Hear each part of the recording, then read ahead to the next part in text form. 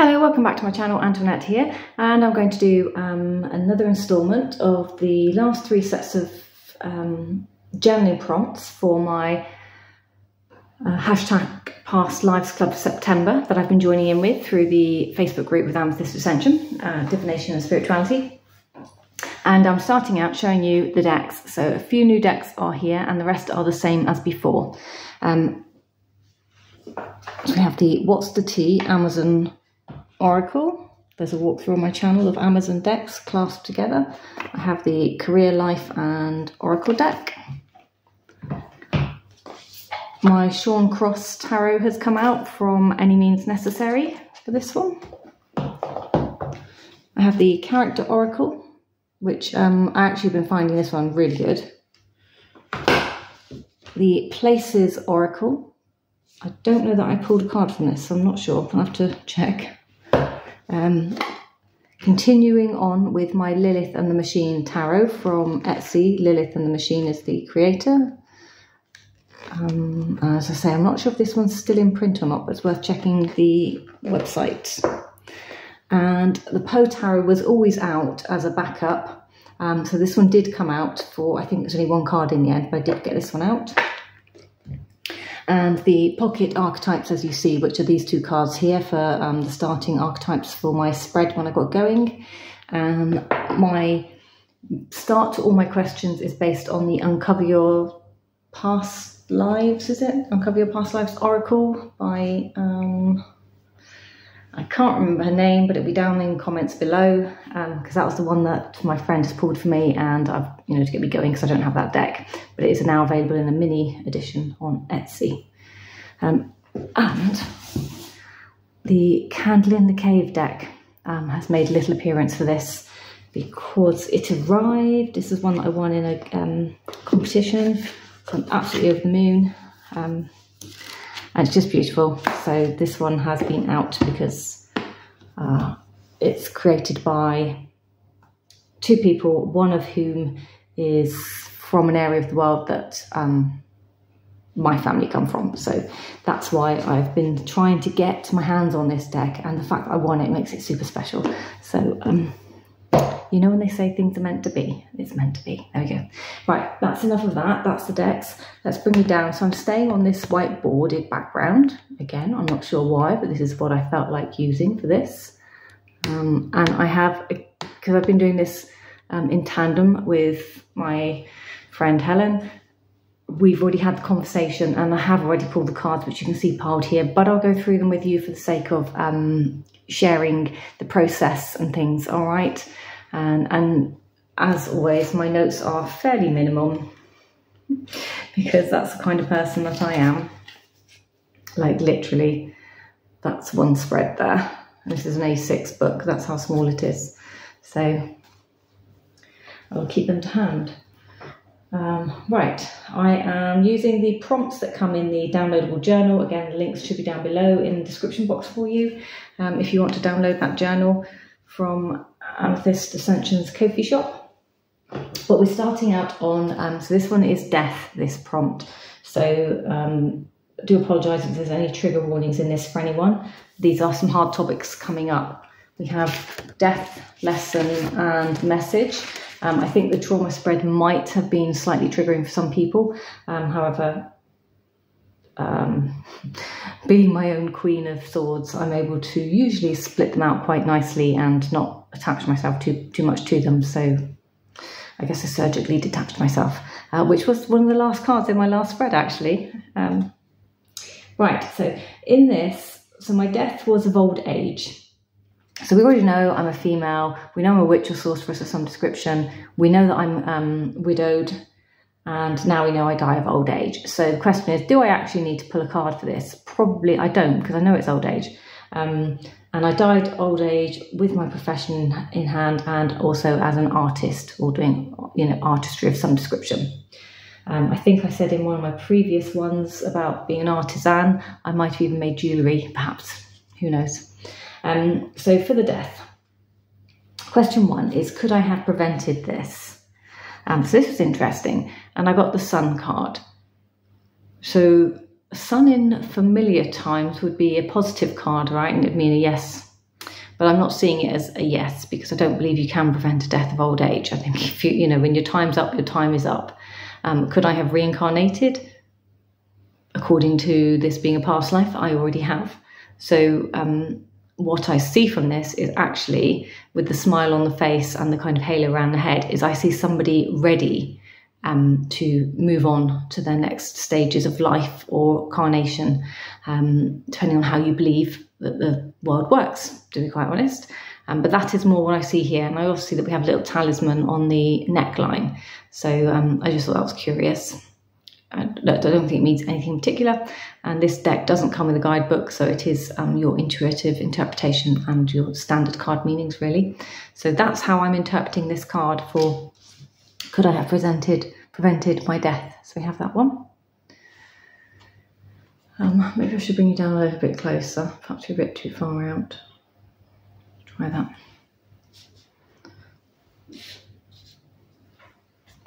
Next question. What were my last moments like?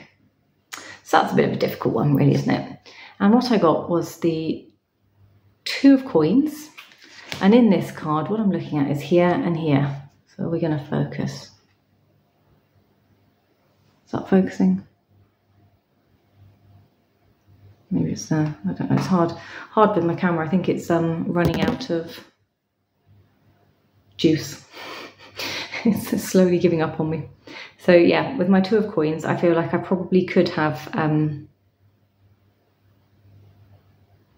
could have my last moments. Um, we have like land, we have earth, we have sky, and we have one kind of here in the in-betweeny and one here in the sky. So it feels like it was a balance. And my last moments were a balance of moving between one world into another, um, crossing the veil, planning my crossing the veil, perhaps even maybe I'm focused and meditating on what's happening. If I know what's, you know, if I'm aware of what's happening, and um, perhaps that's what I'm doing with that card. So that's what I'm thinking at this moment in time. And um, two other cards that I got for that, which were from the Character Oracle. So I got Influencer and I have the Elder.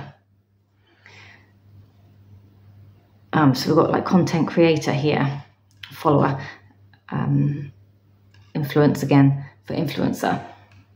So I've got that one. And then of course with the elder, wisdom bearer, experience, tradition, kindness, health. So um, I've died of old age, so elder fits perfectly. I'm some kind of sorcerousy, mystical person. So an influencer would make sense there as well because I'm, I'm, you know, obviously been influencing things for a while as my part of my profession. Um, what else have I written? Let's have a little look here. So yes, I've written it's my time. My friend pulled, because um, she was pulling cards for me as well at the same time, and my friend pulled the Six of Cups when we are discussing online to go with this one here. And um, she was talking about like, you know, memories, reminiscing with the Six of Cups, that balance of um, youth versus age, handing down, um, which kind of went with influencer. And we've got like a young person and an old person here. We've got balance here, like a yin and yang. So it just sort of felt like they were talking to each other in one way, shape, or form. And I have written I'm creating my peace. Um, so creating peace, my journey forwards with the Wisdom Bearer experience, tradition, kindness, health, however it is I'm choosing to wrap up what I'm doing to go to my next place. Question three is what kind of regrets did I have? And I only got one card for what kind of regrets did I have, and I have the King of Coins.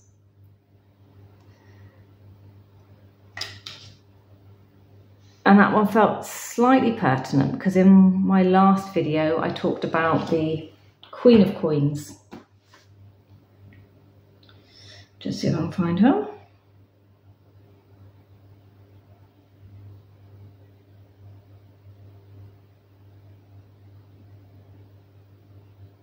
Yeah, my Queen of Coins was in um, the question about what can I learn from this and becoming, stepping into creating um, the material security, wealth, and things that I needed, the structure that I needed.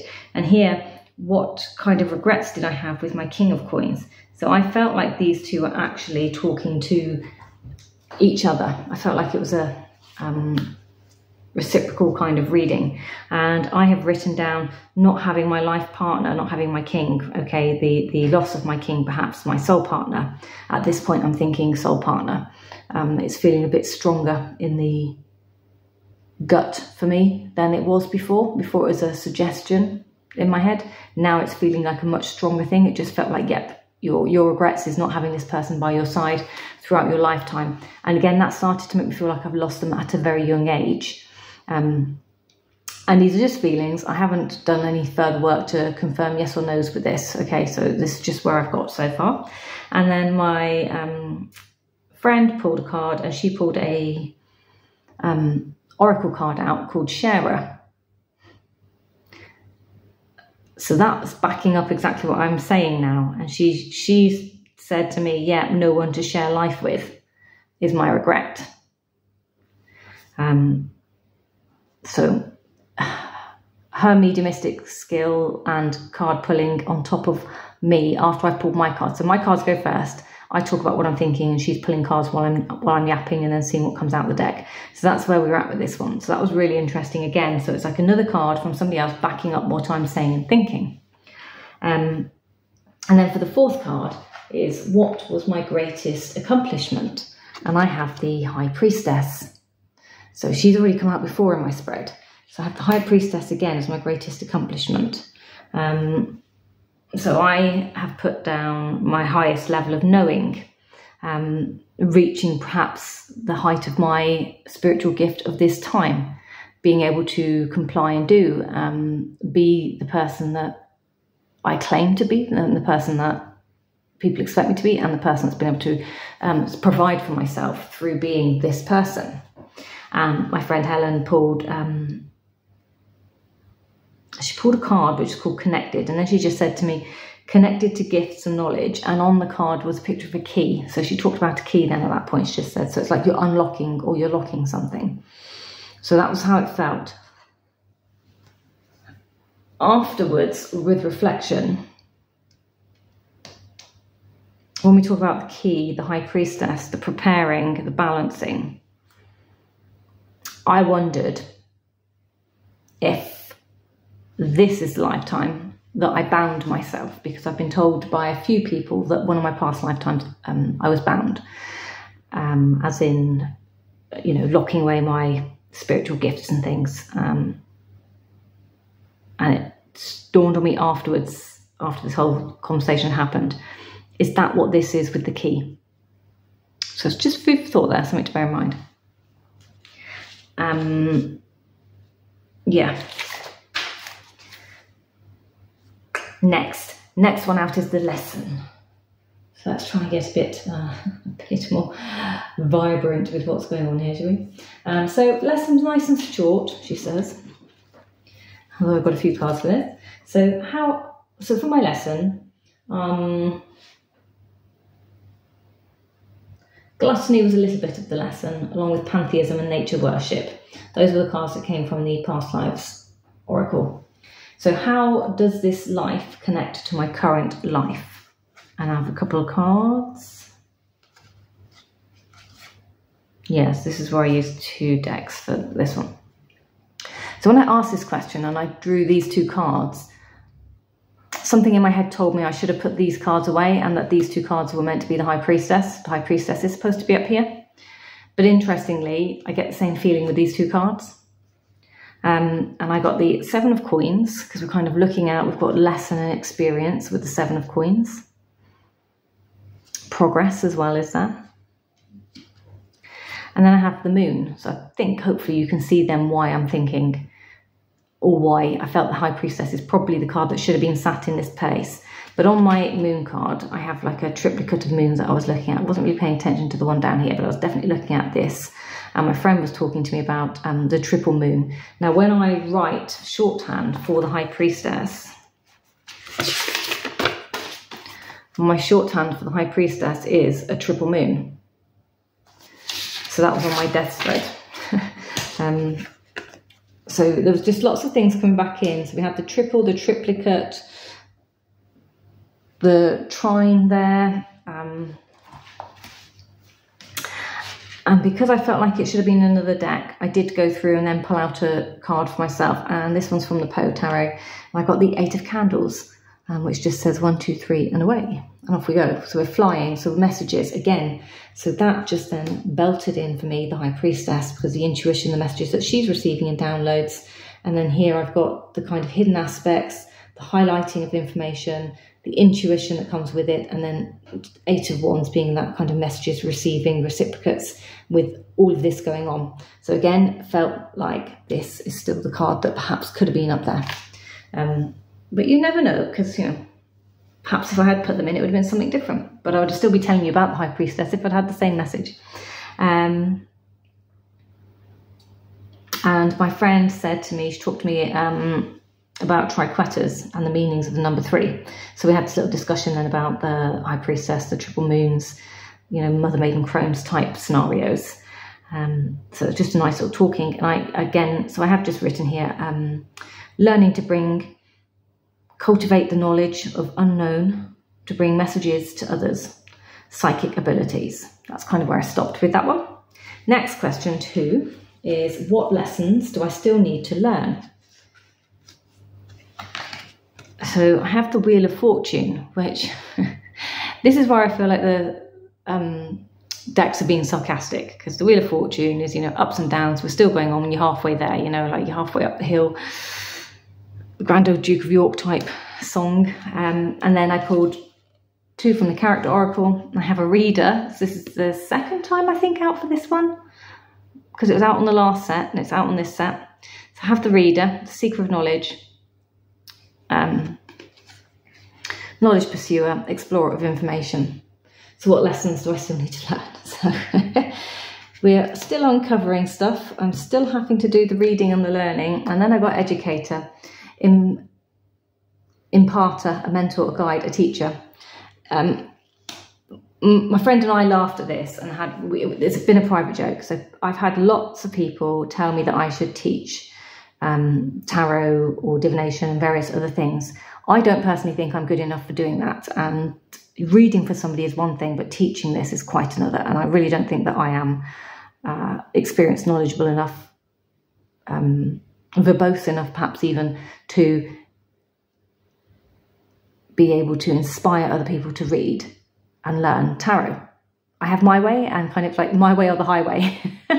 or maybe I need to learn how to deal deal with that. But it just it was just hilarious that this came out. However, in my lifetime in now, as a different role in my life right now, what I do aside from this and here on YouTube, my you know my my my daytime job, um, I do have to read up on lots of information. I do have to learn a lot of knowledge. I do have to educate other people. So it is there in my lifetime. But from a lessons perspective, my friend said, I think this isn't your day job. I think this is what you keep refusing to do on YouTube and various other platforms. She said, I think it's you like being scared of stepping up and being the person that you once were. Um, so yeah, I've just written learn and impart knowledge with others as a kind of footnote for all of this information. There's a third question to this, so it's only three questions per lesson. And what karmic lesson did I restore in that lifetime? No, resolve, sorry. What karmic lesson did I resolve in that lifetime? And I have the Page of Wands, and I have here a throat. And in this throat, which I don't know if it shows on camera very well, there is actually what I thought was three people. Now, I could be very wrong. It could just be my eyes are terrible. But I thought I had a person here, a person here, and a person here. And it looked like they all stood on rocks, and I'm not quite sure what they're doing. Um, but I just thought that was curious. Back to the throat, because in the early part one video, um, I think, I talked about blue throat, blue orbs and crowns, uh, King of Cups, and throat chakra. So I now have a throat chakra going on. And then um, I pulled an oracle to go with this, and I have answers. You will resolve your current situation soon. Work wise, you find a unique way to stand out. You find new opportunities for job security. So, um, or new openings for job security. And of course, I have a key here if I didn't point that out. Um, so there's a key in this one. So I've talked about keys already. I've talked about having to unlock things or maybe locking things away. Um, being able to express myself, open, you know, speak freely um, interesting being a freedom having been somebody that was like a freedom to speak up guardian. Um, so there's things playing out, synchronicities that come back into life here now. So this is where I've got to with my lesson. And what did I resolve? So I think I resolved my ability to talk about and be who I was and to become the person that I was in order to be the um, person that lived a long life and had to support myself with no other means, really. Um, and to be, I suppose, I don't know that I was respected, but I was probably, people were wary of me in my lifetime. So um, those are my lessons. And then, like the kind of overall message, so uh, message from my past life to myself and the past life oracle card, like the, the round deck, um, was the adventurer. And the adventurer has explorer, um, pioneer, crusader, and something else um, on the round card.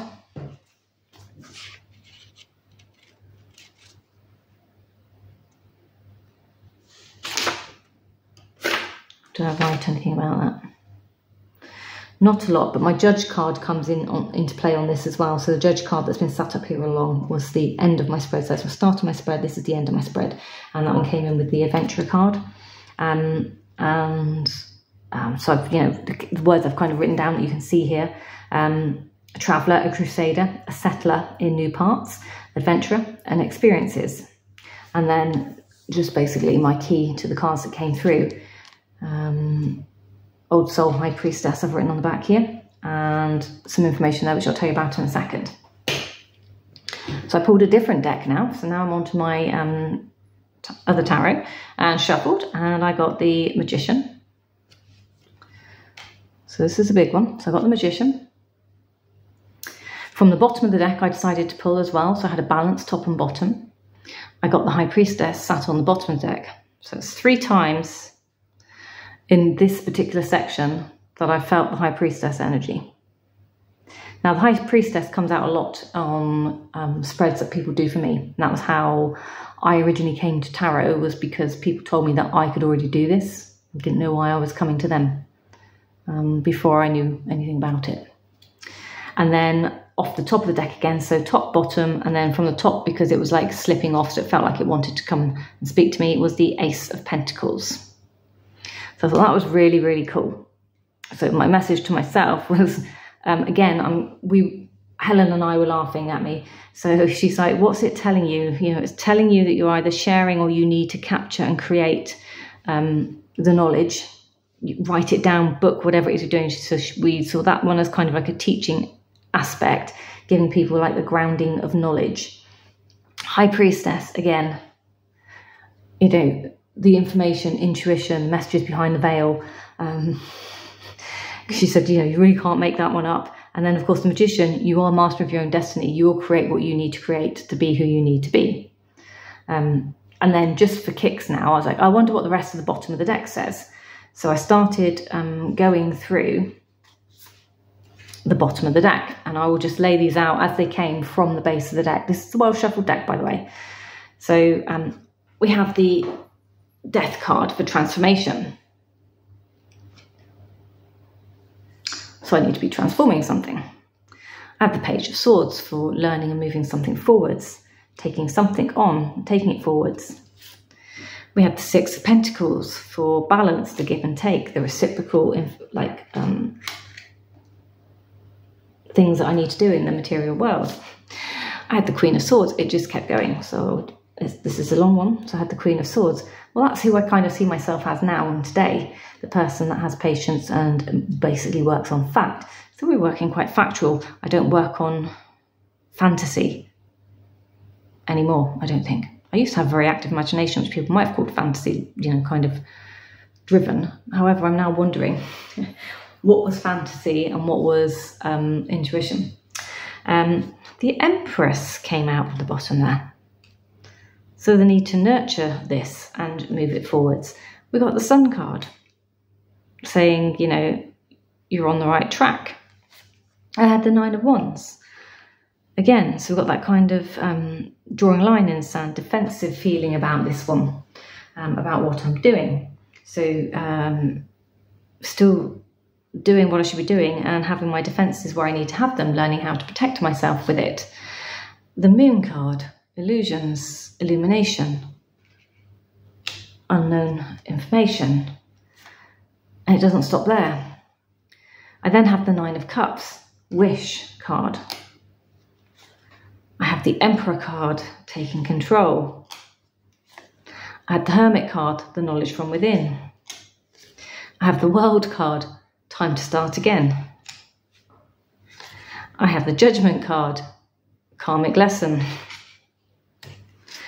I have Ten of Pentacles, right? Bringing the manifestations into reality again, recycling what I have and bringing it back because we have the Tree of Life here as well. I have the Lovers. I thought that was really interesting.